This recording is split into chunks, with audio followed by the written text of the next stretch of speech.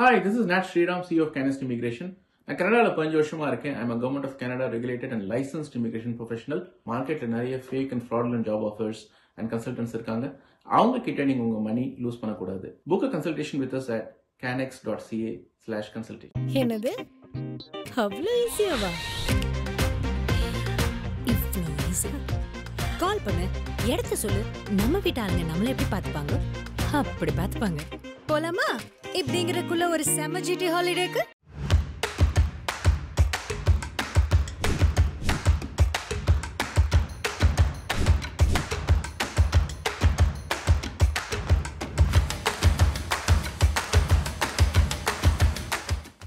Lens நிகழ்ச்சியில எப்படி கேள்வி கேட்கறதுன்னு பல பேர் கமெண்ட் பண்றத கமெண்ட் செக்ஷன்ல பார்க்க முடியுது.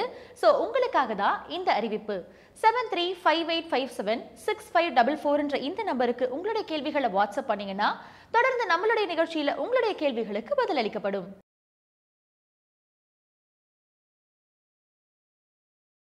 டேலோமீட்டர் வழங்கும். Chai with Chitra Rajini sir வந்து நல்ல என்னென்னா பாண்டியன் படம் ஃபஸ்ட்டு ஃபஸ்ட்டு பண்ணேன். அதுக்கப்புறம் படம் பண்ணிட்டு இருந்தேன் உழைப்பாளி படம் வந்து பண்ணும்போது காசே வாங்கலை. நான் எப்போ எப்படின்னா ஷூட்டிங் அட்வான்ஸ் வாங்க மாட்டேன். படம் முடித்த பிறகு ப்ரொடியூசருக்கு சாட்டிஸ்ஃபேக்ஷன் ஆகும். அப்புறம் ரஜினி சார் படம் வந்துட்டு அட்வான்ஸ்லாம் வாங்கலை. அப்புறம் வாகினி ஸ்டுடியோவில் ஃபைட் பண்ணுறோம் ஃபைட்டு ஃபஸ்ட்டு ஃபைட்டு முடிஞ்சு லாஸ்ட் ஷாட்டு அப்போ என்ன பண்ணோம் ரஜினி சார் இவங்கெல்லாம் வந்து அவங்களுக்கு முடிஞ்சு போச்சு. அப்போ பி வாசு அவர்லாம் வந்து கிளம்பிட்டாங்க. இப்போ நான் மட்டும் தான் லாஸ்ட் ஒரு ஷாட் பண்ணுறேன் அது கூட முடிஞ்சிச்சு பேக்கப் பண்ணிட்டாங்க. அப்புறம் என்ன பண்ணுறாரு மாஸ்டர் இரு ஒரே ஒரு ஷாட் இருக்குது அது பண்ணிவிட்டு அப்புறம் போவோம் அது பிளானடா இல்லையான்னு தெரில ஏன்னா அப்போ தான் விக்ரதர்மா எனக்கும் கொஞ்சம் ஆகாமல் இருக்குது ஸோ அந்த படமும் வந்து அவர் மூலியம் புக் கிடையாது பியூஎஸ் தான் நான் புக் பண்ணார். அப்பயே கேட்டார் ஏன் எனக்கு கேட்காம நீங்கள் பொன்னம்பலத்தை போட்டிங்கன்னாரு. ஐயோ பொன்னம்பலம் ஆக்டருங்க அவர் ஃபைட்டருன்றது அப்புறம் உங்கள் சைடில் நீங்கள் ஃபைட்டர் ஆகும்போது நீங்கள் என்னென்ன பேசுங்க? அவர் என் படம் வந்து வால்டர் விட்டல் பண்ணார். அதுலேருந்து அவர் கேரக்டர் ஆர்டிஸ்ட் அதனால் இந்த படத்தில் அவருக்கு சோலோ ஃபைட்டுன்றதுனால அவரை நான் இது பண்ண முடியாது தர்மா. இதுக்கு அதுக்கு நீங்கள் முடிச்சு போடாதீங்க. இது நான் சொந்தமாக வந்து அவரை கூப்பிட்ருக்கேன் ஃபஸ்ட்டு தெரியாது. நான் தான் சோலோ ஃபைட் பண்ண போகிறேன் பேக்கப் சொன்ன பிறகு அப்போ நான் கேட்டேன். சார் பேக்கப் பண்ணிட்டாங்கல்ல நாளைக்கு வந்து பண்ணிக்கிறேன். ஃபஸ்ட் டே இது பண்ணிக்கலாம். இல்லை இல்லை. பண்ணு. அப்போது எனக்கு டவுட் ஆச்சு. எதனா அவனுக்கு கணக்கு பண்ணி எதனா பண்ணி வச்சிட்டாரா? என்னன்னு போய் எல்லாம் பார்க்குறேன் செக் பண்ணுறேன் எல்லாம் கரெக்டாக தான் இருக்குது. சரின்ட்டு ஒரு ஆறு அடி ஸ்டூல் போட்டு ஆறு அடி மேலே வந்து நெட் இருக்குது நெட்டில் அடித்து கீழே விழணும். நான் வந்து நெட்டை அடிக்கிறேன். நெட்டு கீழே லூஸாக இருக்குது ஸோ அது ஏதோ பண்ணி வச்சுட்டு இருக்காங்க பண்ணவனாச்சு கீழே செவுரு இவ்வளோ தூரம் வந்துருக்கு. கரெக்டாக அடித்து செவுத்துல விழுற இந்த கால் இந்த இப்படி பட்டு இப்படி திரும்பி இங்கே இருக்குது என் கால். இந்த கால். இப்படி உடச்சிக்கிச்சு. இந்த கால் ரைட்டில் அப்புறம் அதை எடுத்து செட் பண்ணுறதுக்குள்ளே ஒரு அரை மணி நேரம் ஆச்சு. எப்படி வைக்கிறதுனே தெரில எல்லாருக்கும். இப்படி முறுக்கின்னு இப்படி இருக்குதுங்க கால். ஸோ அது இப்படி முறுக்குச்சா அப்படி முறுக்குச்சா தெரியல. இந்த கால் இது கை இருக்குல்ல இப்படி தான் இருக்குது கால் அப்புறம் அதை திருப்பி திருப்பி இந்த காலை இழுக்கிறாங்க. நல்லவேளை எனக்கு ஸ்ட்ரெச் நல்லாயிருக்கும் உடம்பு. அதனால் வேற யாருனா இருந்தால் செத்துருப்பானுங்க இதே இது பண்ணி அப்புறம் நானே சொன்னேன். நானே குருகுல் மாஸ்டர் நிறைய பேர் கை கால்லாம் உடஞ்சா நான் கிட்ட இருந்து பண்ணியிருக்கேன் அடிச்சு இல்லை இல்லை ஃபஸ்ட் நேராக நீட்டு நேராக நீட்டு இப்படி திருப்பி அப்புறம் இப்படி கொண்டு வந்து அப்புறம் தான் மாற்றி இப்படி வச்சு பண்ணோன்னா கரெக்டாக செட் ஆச்சு. செட்டாக இப்படி தொங்குது கால். லிகமெண்ட்லாம் போயிடுச்சு. ஐயோ முடிச்சிட்டாப்புலையே நம்மளை. பார்த்தேன். அப்புறம் எதுவுமே கண்டுக்கல. ஹாஸ்பிட்டல் கிளம்பு போ போ. போயிட்டே இருந்தார். அப்படியே மனசெல்லாம் அப்படியே உடச்சிட்டார் ஆனால் எனக்கு தெரிஞ்சு அவர் அவர் தான் பண்ணியிருப்பார். இல்லைனா நான் தான் இருக்கட்டும். நம்ம சிசி தானே வந்து தூக் தூக்கலாம்ல. தூக்கூட இல்லை. என்னை தூக்க கூட இல்லை. கால் அப்படியே பின்னிட்டு அப்படி இருக்குது அப்படியே ஹாஸ்பிட்டலில் போய் படுத்தேன். அதுக்கப்புறம் என்னை பற்றி தப்பு தப்பாக சொல்லி அவர் என்ன பண்ண வெயிட் பண்ணி பண்ணலாம். செட் அப்புறம் போடலாம் பண்ணிக்கலாம்னு சொல்லி அவர் சொல்லியிருக்காரு. இல்லை இல்லை வேறு ஃபைட்டர் மாற்றிடலாம் அப்படின்னு அவர் விக்ரம் தர்மா சொன்னாரா? இல்லை வேறு ஏன்னா வேறு நடக்க சான்ஸ் இல்லாக அந்த மேனேஜர் ராமநாதன் சொல்லிட்டு கொஞ்சம் ட்விஷ் பண்ணி விட்டார். ரஜினி சார் ராமநாதன் சார் ரெண்டு பேருமே வந்து ஏழுங்களை சவுண்ட் அண்ட் லைனில் பார்த்துட்டேன். பார்த்தோம் நேராக பார்த்து ராமநாதனை கத்த ஆரம்பிச்சிட்டேன். சார் வந்து இப்போ வெளியே சீக்கிரட் அடிக்க வந்தார். நான் வெயிட் பண்ணிட்டே இருந்தேன். அவர் அவங்க டப்பிங் பேசிகிட்டு இருக்காரோட வெயிட் பண்ணேன். வந்து பாவத்தில் திட்டினேன். திட்டி ராமநாதன் பயங்கரமாக திட்டினேன். என்ன சொல்லிட்டாப்புல? ரஜினி சார்கிட்ட யாராக இருந்தால் நம்மளப்பா கால் வண்டிச்சு எப்படி ஷூட்டிங் வரும்? போயா? அப்படின்ட்டாரு. அப்படின்னு சொன்னதாவது அவருக்கு அசிஸ்டண்ட்டாக இருக்க மேனேஜர் என்கிட்ட சொல்லிட்டான். ராமநாதன் உங்களை தப்பாக சொல்லிட்டாரு. அப்போ இவர் என்ன பண்ணார் கேட்டார் ரஜினி சார். என்ன பொன்னம்பலம் எப்படியா சொன்னாப்புல பொன்னம்பலம் அப்படி சொல்லியிருப்பானா? அப்படின்னு எனக்கு ஒரு ஃபோன் பண்ணி கேட்டிருந்தாலும் பரவாயில்ல. ஏன்னா அப்பப்போ எனக்கு ரஜினி சார் எனக்கு ஃபோன் பண்ணுவார் வீட்டுக்கு. எவ்வளோ அவருக்கு பாசம் வரும். எங்கள் அம்மாட்ட சொல்லுவாங்க எங்கள் அம்மா தான் எப்பா அவர் சொல்லுமா எப்பா பாய்ஸ் கார்லேருந்து ஃபோன் பண்ண சொல்லுமா அப்படின்வார் சொன்ன நான் வந்த ஆனால் தலைவரை சொல்லு தலைவராக இருப்பேன் நல்லா இருக்கப்பா இருக்கு? ஆமாம் ஆமாம் தான் இருக்காங்களா சும்மா அடித்தேன் ஆ நம்மளோட ஸ்டார்ட் ஆகுது அதை வந்து பண்ணிக்கலாம் அப்படி அப்போ எனக்கு அது ரொம்ப சந்தோஷமாக இருக்கும். ஒரு சூப்பர் ஸ்டார் நம்மளுக்கு ஃபோன் அடித்து பேசுகிறாரு அப்படின்னு. வீட்டு லைன்லேருந்து அவர் ஃபோன் பண்ண சொல்லிட்டு அந்த லைன்லேருந்து பேசுவார். அவருக்கு செல்லு இல்லை இதுக்கு அப்போ செல்லு கிடையாது. அப்போ ஸ்கைக்ஸ் எல்லாம் இருக்குது அப்போ தான் ஆரம்பத்தில் வந்தது. ஒரு ஒரு ஒரு காலுக்கு ஒரு நிமிஷத்துக்கு பதினாலு ரூபா பன்னெண்டு ரூபா. இருபது ரூபா. அப்போது தொண்ணூற்றி ஆறு நினைக்கிறேன் அப்போ. அதுக்கப்புறம் என்னாச்சு? ரஜினி சார் அப்போ தான் அவனை திட்டினவுடனே ராமநாதன் சாரை திட்டினவுடனே அவரே ஒரு மாதிரி ஆகிட்டார் ரஜினி சார். "ஏய், இது எனக்கு தெரியாது. சார் தெரியாதுன்னு சொல்கிறீங்க நீங்கள் என்னை விட்டு போயிட்டீங்க. உங்கள் வீட்டில் ஒரு நாய். நாலு நாளாக ஷூட்டிங் போயிட்டீங்க. உங்களை சுற்றி வர ஒரு நாய். அது என்ன பண்ணுவீங்க? வீட்டுக்கு ஃபோன் பண்ணி ஏமா பப்பி எப்படி இருக்கு? நல்லாக்கா சும்மா நாலு நாளில் ஒரு நாளாச்சும் கேட்க மாட்டீங்களா வீட்டு நாயை? அந்த மாதிரி நீங்கள் நல்லா இருக்கணும். நீங்கள் தான் இருக்கணும். தலைமையில் தூக்கி வச்சு ஆடி நான் உங்களை இது பண்ணியிருக்கேன் கொஞ்சம் கூட என்னை விசாரிக்கல பார்த்தீங்களா அப்படின்னு வருத்தப்பட்டான் அப்போ. Sorry sorry sorry my mistake my mistake sorry பண்ணுவேன் இப்போ ரெடியாகும் ம். என்ன சார் மிஷினா சார் ரெண்டு பாலிஷ் பண்ணி பண்ணுறது ரெண்டு மணி நேரம் ஆகும் சார் ஆண்டவன் தான் சார் இது ரொம்ப கிரிட்டிக்கலாக வந்து ரெடி ஆகிருக்கு நாட்கள் எவ்வளோ தெரியல. அடுத்த படம் நம்ம பண்ணுறோம் ஆ அப்படின்னாரு. சொல்லிட்டு ஒரு ஒரு பதினஞ்சு நாள் இருபது நாள் அப்படியே அவரே ஃபோன் பண்ணார். ம். வீட்டில் வந்து. "ஏய், ரவிக்குமார் போய் பாரு. ஆ அப்படின்னாரு. உடனே ரவிக்குமார் சார்கிட்ட ஃபோன் பண்ணார் ஃபோன் பண்ணால் பாம்பரோட சொன்னார். அப்போ திருப்பி போய் ரஜினி சார் நேராக பார்த்தேன் வீட்டில் போனேன் வீட்டுக்கு போனால் வா வீட்டுக்கு வாடினாரு ஃபஸ்ட்டு வீட்டுக்கு போனேன். வீட்டுக்கு போனோடனே அவர் பெட்ரூம்லேயே கூப்பிட்டாரு. அப்போ தான் பார்த்தேன் வீடு பெட்ரூமில் ஃபுல்லாக சுற்றி கண்ணாடி இந்த புருசில் படத்தில். அந்த மாதிரி இருந்தது. அவர் போய் காலையில் உட்காந்து டீ டீ கொண்டு சொன்னார். டீ சாப்பிட்டார். இது எனக்கு தெரியாது பண்ண போகலாம் ஒரு வருஷமாக வீட்டில் இருக்கேன். ஆமாம் தலைவா. யாரும் வந்து பார்க்கல. ரொம்ப கஷ்டமாகிடுச்சு நான் அந்த படத்துக்கு அட்வான்ஸ் கூட வாங்கல தெரியுமா? அட்வான்ஸ் வாங்கியிருந்தா கூட நான் கொஞ்சம் சரி பண்ணியிருப்பேன். கட்சியில் வீடு தான் படம் பண்ணி வச்சுருக்கா. படம் பண்ணி வச்சு கொஞ்சமாக சாப்பிட்டுட்ருக்கோம். நீ ஒன் இயர் ரவிக்குமார் பாரு. ஆ? நான் சொல்ல போகிறேன் அப்போ ரவிக்குமார் ஃபோன் பண்ணோன்னா பாங்கூர் இருக்கா? அப்போ நான் போய் பார்த்தோன்னே அப்படியா? அப்படின்ட்டு அவர் சாருக்கு ஃபோன் பண்ணார். அந்த எந்த கேரக்டருக்குல அது குழம்பு கொடுங்க. அப்படின்ட்டாரு. கேட்டோன்னா அப்போ அப்போ என்ன சொல்லிட்டேன் சார்கிட்ட சார். ஒரு வருஷமாக கடனாக வாங்கிட்டேன். அதை அடைக்கிறதுக்கு எதனா ஒன்று பண்ணுவேன் ஏன்னா அவரே சொல்லிட்டார் அப்போ இருபது இருபத்தஞ்சி நாள் வரும் ஷூட்டிங் நான் இங்கே அப்போ வாங்கியிருந்த அமௌண்ட்லாம் வாங்க முடியாது இப்போ ஃபைட்டும் பண்ண முடியாது இப்போ. அதுக்குள்ளே ரெடி ஆகிடும் படம் ஒரு ஆறு மாதம் ஏழு மாதம் ஆகும். சரி ஓகேன்ட்டு இது பண்ணோம். பண்ணோன்னா அஞ்சு லட்ச ரூபா சம்பளம் பேசி நம்மளுக்கு கரெக்ட் பண்ணி கொடுத்தாரு. இப்போ அப்போயே எல்லாம் எது ஃபைவ் லேக்ஸ் தான் என்ன ஏன் அதுக்கு சின்ன கேரக்டர் தானே அப்படி இப்படின்னு அப்புறம் அவர் சொல்லிட்டார் இல்லை இல்லை கொடுக்க முடிஞ்சா பாருங்க இல்லை சம்பளம் அப்படின்ற மாதிரி அவர் சொல்லியிருக்காரு. இல்லை சார் நாங்களே தரோம் அப்படின்ட்டு பாலச்சந்தர் அவங்க தான். அவங்க டாக்டர் இருந்தாங்க ஆமாம் அது தரேன் அதுக்கப்புறம் ரொம்ப ஃப்ரெண்ட் ஆகிட்டோம் ஏன்னா அப்போல்லாம் ரொம்ப தப்பாக எடுத்திருந்தேன். ரஜினி சாரை. என்னடா இது? நம்ம அவர் படம் பண்ணியிருக்கோம் மூணு நாலு படம் பண்ணியிருக்கோம் இதில் அடிபட்டுது.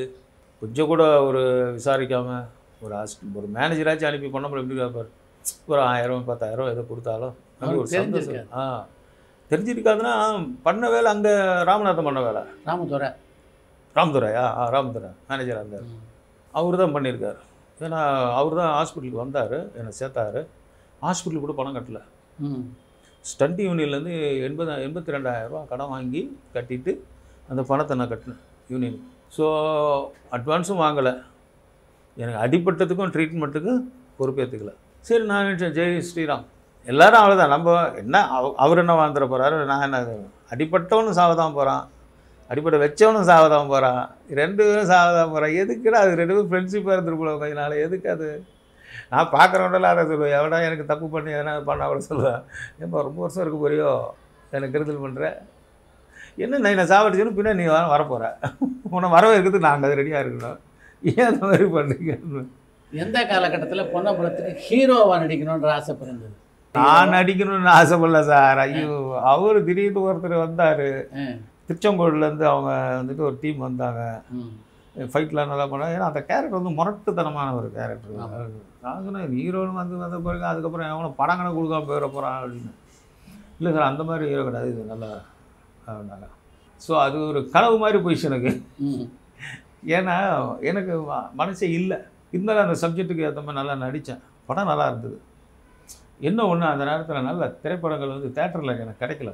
அம்மையப்பான்னு ஒரு படம் அம்மையப்பா ஒன்று முதல் எச்சரிக்கை ஒன்று முதல் எச்சரிக்கை. அது ரிலீஸ் ஆகலைன்னு நினைக்கிறேன். அது இது ரிலீஸ் ஆச்சு. அதுக்கப்புறம் நம்மளே ஓன் ப்ரொடக்ஷன் ஒன்று பண்ணேன். ம். பட்டைய கலப்பன்ட்டு அப்போ பயங்கர லாஸ் இன்னொரு படம் ஒன்று ஸ்டார்ட் பண்ணால் அதில் ஒரு எழுபத்தஞ்சு லட்சம் லாஸ் டைரக்ஷன் வேறு பண்ணீங்க ஆமாம் அந்த அதான் புத்தி கெட்டு போய் சினிமாவில் இருந்து சினிமாவில் பண்ண நம்ம நம்ம பெரிய இது மாதிரி. நடிக்க தெரியும் படம் எடுக்க தெரியும். வியாபாரம் பண்ண தெரியாது.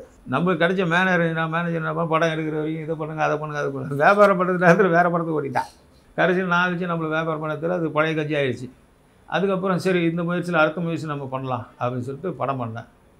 பாதி படம் முக்கால்வாசி முடிஞ்சு போச்சு. பொள்ளாச்சியில் ஷூட்டிங் பண்ணி கனல் கண்ணன் நான் கனல் கண்ணன் மாஸ்டராக பண்ணுறேன் நான் சைடு கேரக்டராக நான் செந்தில் தம்பி மாதிரி ஒரு புது ஹீரோஸ் ஒரு நாலு பேர். இருந்துட்டு ஒரு நல்ல காமெடி சரியான காமெடி படம். எழுபத்தஞ்சி எண்பது லட்ச ரூபா செலவு பண்ணிட்டு இருக்கேன் திடீர்னு நெஞ்சு வலி வந்தது அப்போ போய் அட்மிட் ஆகி பார்த்தா எல்லாம் ஆப்ரேஷன் பண்ணிட்டாங்க பைபாஸ் ம். ஆக்சுவலி நெஞ்சு வலி வந்து நெஞ்சு ஹார்ட் ப்ராப்ளம் கிடையாது. கிட்னி வந்து சப்ளை பண்ணல ஆக்சிஜன் உடனே பைபாஸ் பண்ணிட்டாங்க அதுக்கு ஒரு ஏழு லட்ச ரூபாங்க ஐயோ ஐயோ நான் நல்லா இருக்கேன் சார். பிராணாயாமம் நல்லா வருது இது வருது. வேறு ஏதோ ஸ்டக் ஆகுது. வேறு ஏதோ ஸ்பேர் பார்ட்ஸ் போயிடுச்சு போயிடுச்சு போயிடுச்சுட்டு அப்புறம் மெட்ராஸ் வந்து அப்போலோ போய் செக் பண்ணோம் சொல்லிட்டாங்க. இந்த மாதிரி ப்ராப்ளம் கிட்னி ப்ராப்ளம் இருக்குது அப்படின்ட்டு. நம்ம தமிழிசை சவுந்தரராஜன் இருக்கார் இல்லையா? சவுந்தரராஜன். அவர் வந்து இந்த இதில் நம்பர் ஒன் டாக்டர். அவர் தான் சொன்னார் நம்மளும் முடிஞ்சது கதை. ஒரு அஞ்சு வருஷம் நல்லா இருக்கலாம். அதுக்கப்புறம் கேரண்டி கிடையாது. அதுக்கு முன்னாடி கொஞ்சம் டிரான்ஸ்பிளான்ட் பண்ணிட்டு நல்லாயிருக்கும் இப்போ நீ முதல்ல செய்ய வேண்டியது எந்த நேரத்தில் வேணால் திருப்பி ஹார்ட் அட்டாக் மாதிரி வரும். அதுக்கப்புறம் இருபது நிமிஷத்தில் நீ போய் அட்மிட் ஆகலைன்னா செத்துருவேன். இந்த கையில் இப்போயும் ஆப்ரேஷன் பண்ணிக்க.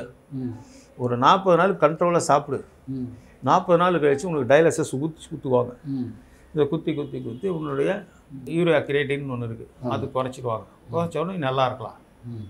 மற்றபடி நார்மலாக இருக்கலாம் தவிர ஓடலாம் முடியாது. ஏன்னா கிட்னி போயிடுச்சு. ஆக்சிஜன் சப்ளை பண்ண முடியாது. அப்படின்ட்டார். என்ன சார் அப்படி சொல்லுவேன் முதல்ல பண்ணு வேறு வழி கிடையாது. அப்போ வேறு கையில் வேறு காசு இல்லை. ஏன்னா எல்லாம் தொலைச்சிட்டு ஃபைனான்ஸ் எதிர்பார்த்தா உட்காந்துட்டு இருந்தேன். இப்போ படம் ஆஃப் ஆனவுடனே கையில் ரெண்டரை லட்சம் வந்து அது காலி ஆயிடுச்சு. வந்த உடனே எல்லாம் காலி ஆயிடுச்சு. செலவுக்கு என்னடா பண்ணுறது யோசனை பண்ண ஒன்றும் புரியல. அப்பதான் சரத்குமார் சார் கடிச்சேன். தலைவர் இந்த மாதிரி உடம்பு முடியல. போய் இது பேசினா கையில் உடனே ஆப்ரேஷன் பண்ணான்றாங்க ஐயோ கவலைப்படாத படம் நான் இருக்கேன் கவலைப்படாத. அப்படின்னு முதல் நம்மளுக்கு பூஜை போட்ட மாதிரி அதான் சொல்லுவாங்களே அந்த லட்சுமிகரமான ஒரு நபர் அவர் தான் ஃபஸ்ட்டு ஐம்பதாயிரம் கொடுத்து சிம்ஸ் ஹாஸ்பிட்டலில் இந்த கைக்கு ஆப்ரேஷன் பண்ணார். ஆப்ரேஷன் பண்ணிவிட்டு கரெக்டாக முப்பது நாற்பது நாள் இருக்கு. நான் நாற்பது நாள் நாற்பது நாள் கழிச்சு டயலிசிஸ் பண்ணுறேன் இதில் மட்டுமே இந்த மூன்றரை வருஷத்துக்கு பார்த்தீங்கன்னா முந்நூற்றறுபஞ்சு முந்நூற்றறுபஞ்சு முந்நூற்றறுபத்தஞ்சி அதுவே என்னது ஆயிரத்தி ஐநூறு ஆய- ஆயிரத்தி ஐம்பது இது ஒரு நூற்றம்பது நாள். ஆயிரத்தி இரநூறு நாள் கிட்டத்தட்ட. அதில் பாதி வைங்க ஒரு நாள் விட்டு ஒரு நாள் டயலிசிஸ் அறுநூறு நாள் டயாலிசிஸ் அறநூறு டயலிசிஸ் அறநூறு வாட்டி இந்த குத்துன இடத்துலையே குத்துவாங்க. இந்த இடத்துல மட்டும் அறநூறு வாட்டி குத்திருக்கு சார். இந்த இடத்துலையும் அறநூறு வாட்டி. இது அவுட்புட்டு இது இன்புட்டு தொடப்பு குச்சி மாதிரி இருக்கும் அந்த ஊசி. ஐயோ இதில் வந்து கரெக்டாக நரம்புல குத்துறா பரவாயில்ல. சம்டைம்ஸ் சைடில் போயிடும் உயிர் போகும். உலகத்திலே அதிகமான பனிஷ் பண்ணாதமா சார் நூறு ரேப் பண்ணால் கொடுப்பாங்களே தண்டனை.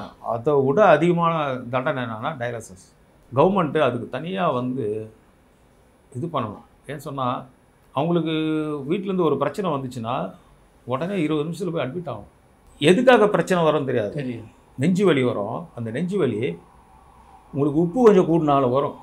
பொட்டாசியம் ஏறினாலும் வரும். பிபி ஏறினாலும் வரும். இப்படி எது வருதுன்னு கண்டுபிடிக்கிறதுக்கு முன்னாடியே உங்களுக்கு பிளட் டெஸ்ட் பண்ணால் அது எப்படி மறுநாள் தான் கிடைக்கும் நைட்டு கிடைக்கும்.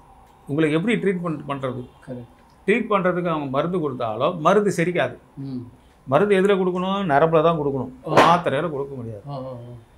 நீங்கள் சாப்பிடக்கூடாது. உப்பு போட்டு சாப்பிடக்கூடாது. வாழ்ந்தே புரோஜனம் இல்லை. வச்சிங்களா? சும்மா வாழணும்னு ஆசைப்பட்டு அது ஒரு கொடுமை. ஆமாம் தண்ணி கூட அதிகமாக கொடுக்கக்கூடாது. தண்ணி ஒரு நாளைக்கு எட்நூறு எண்பது தான். ரொம்ப கொடுமை சார். அதாவது வாழ்க்கை அது ஜென்மத்தில் மனித ஜென்மத்தில் அதிக பாவம் பண்ணவங்களுக்கு தான் அது தண்டனை. நான் என்ன பாவம் பண்ணேன் எந்த ஜென்மத்தில் என்ன பண்ணேன் நல்லா தான் பண்ணியிருக்கேன். ஆனால் ஆண்டவன் வந்து நான் யார் நல்லவன் யார் கெட்டவன் தெரிஞ்சுக்கிறதுக்கு ஒரு பாடம் சொல்கிறதுக்கு தான் எனக்கு இதை பண்ணான். மூன்றரை வருஷம் கஷ்டப்பட்டு எல்லா நடிகரும் எனக்கு ஹெல்ப் பண்ணாங்க. அர்ஜுன் சாரு எஸ் ரவிக்குமார் பிரபுதேவா தனுஷ் கூட பண்ணார் ஆ தனுஷ் தனுஷ் வந்து என் வீட்டை ஃபுல்லாக பார்த்துக்கிது அவர் தான். என்னுடைய பர்சனல் ஹாஸ்பிட்டல் செலவெல்லாம் வந்து ஃபஸ்ட் ஆரம்பத்தில் ஃபுல்லாக இவர் தான். யார்? சரத்குமார் சார் பட் வீடு இருக்க வீடை காப்பாற்றணுமே வாடகையே முப்பதாயிரரூவா ம். மூன்றரை வருஷம். ஆ. ஃபுல்லாக தனுஷ் தான் பணம் கொடுத்தாரு. சூப்பர். ம். நான்லாம் நினைக்கவே இல்லை. நான்லாம் வந்து நினச்ச நடிகர்லாம் வேறு. நீங்கள் கூட பொன்னம்பலம் இப்படிப்பட்டவன்றது நம்ம ஒரு அஞ்சு நாள் பழகிருப்போம் பத்து நாள் பழகிருப்போம் அதை வச்சுட்டு இருப்போம் ஆனால் எனக்கு உங்களுக்கு ரொம்ப பிடிக்குன்றது உங்களுக்கே தெரியாது. இது உண்மை? இப்போ இப்போ வரைக்கும். நீ வந்து ஒரு பொன்னம்பலம் ஒரு ஃபைட்டர் போனார் வந்தார். எனக்கு வந்து சில பேர் பிடிக்கும். ஆரம்பத்துலேருந்தே உங்களை எனக்கு பிடிக்கும். ஏன்னா ஆரம்பத்துலேருந்து உங்களை பார்த்து கொள்ளும்போது எந்த விஷயத்தையும் நீங்கள் கேர்லெஸ்ஸாக பண்ணுவீங்க. கேர் கேர் கேர்லெஸ்ஸாக எடுத்துப்பீங்க. டேய் இதை போட்டான் விட்றா அதை வச்சு யோசனை அதே ஏன்டா பண்ணி யோசனை பண்ணிட்டு இருக்கேன் விட்டு தொலைடா வேற போடா அப்படின்ட்டுவீங்க அது எனக்கு பிடிக்கும். ஒரு நம்மள வந்து ஒரு பிரச்சனையை வந்து ரொம்ப நேரம் மண்டையில் வச்சுக்கூடாது. மண்டையில் வச்சுன்னா என்ன? நம்மளுக்கு தான் லாஸ் அதே யோசிச்சு யோசிச்சு அதே பண்ணுறது வேஸ்ட் அதுதான் முடிஞ்சு போச்சு. அதுக்கப்புறம் வண்டி பஞ்சர் ஆச்சு இது ஆச்சு டயர் இதாச்சு அதே சொல்லிக்கிட்டு இருக்க. டயர் மாற்ற விடு தூக்கி போடு அப்படின்ற மாதிரி இருக்கணும். அடுத்த ஸ்டெப் என்னன்னு போனால் தான் நம்மளுக்கு இது இருக்கும். ஸோ சில மனிதர்கிட்ட சில விஷயங்கள்லாம் கற்றுக்கிட்டு இருந்தேன். ஸோ அது மாதிரி அந்த விஷயத்தில் ரொம்ப எனக்கு ரொம்ப பிடிக்கும். ஸோ நடிகர் எல்லாம் கொடுத்தாங்க. ஆனால் ஒரு படம் பண்ண மாதிரி ஆயிடுச்சு எனக்கு.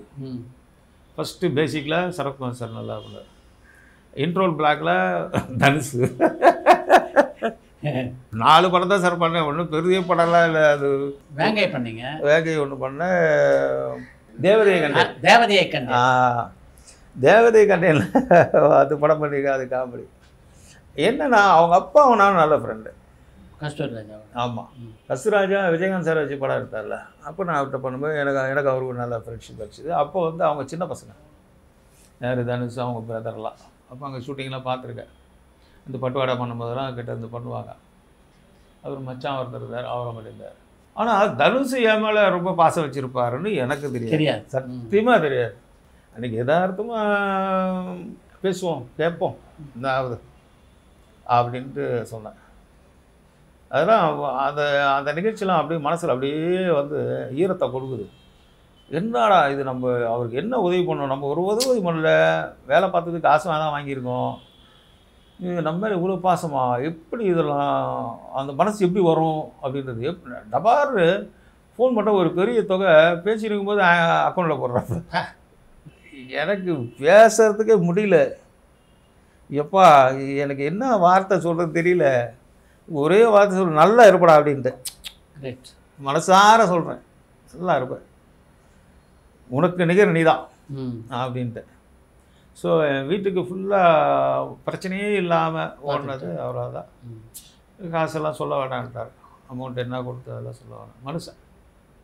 சிறு வயசாக இருந்தாலும் எனக்கு ரொம்ப ஆழமான அதே மாதிரி சரத்குமார் சார் ஆள் பார்த்தா முரட்டத்தனமாக இருப்பார் தவிர மனசு ரொம்ப நல்ல இலக்கணம் நிறைய ஹெல்பிங் ஹெல்பிங் மைண்ட் கொடுப்பார்.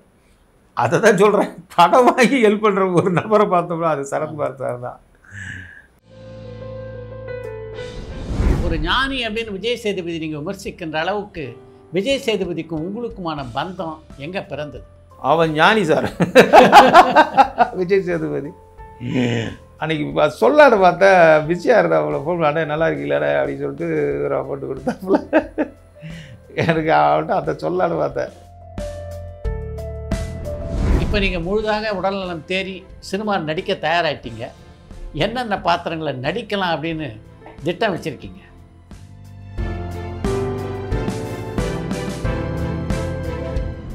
எந்த காலகட்டத்தில் ஆன்மீகத்தில் உங்களுக்கு மிகப்பெரிய ஈடுபாடு வந்தது? சிக்னலில் இவர் நிற்கிறார் யார்? கோட்டா சீனிவாசரோட பையன். மூணு பேர் கண் எதிர ஒரு வந்து அடித்தார் அந்த மாதிரிலாம் வந்து கூடாது ரொம்ப ரொம்ப பாவம். கோட்டா சீனிவாசர் அப்படியே மயக்கம் பண்ணிட்டார் அவங்க மனைவி போய் பரபரப்பான சினிமா செய்திகள் நட்சத்திரங்களின் பேட்டிகள் சினிமா வரலாறு ஆகியவற்றை பார்க்கவும் படிக்கவும் உங்களுக்கான இணையதளம் tour and talkies dot co